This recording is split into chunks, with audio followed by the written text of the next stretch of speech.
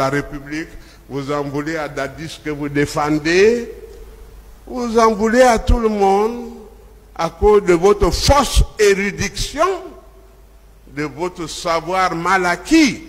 Excusez-moi. Ah, s'il vous plaît, s'il vous plaît. Et calmez-vous, ah, mais il faut pas qu'il atteigne ma dignité là. calmez-vous.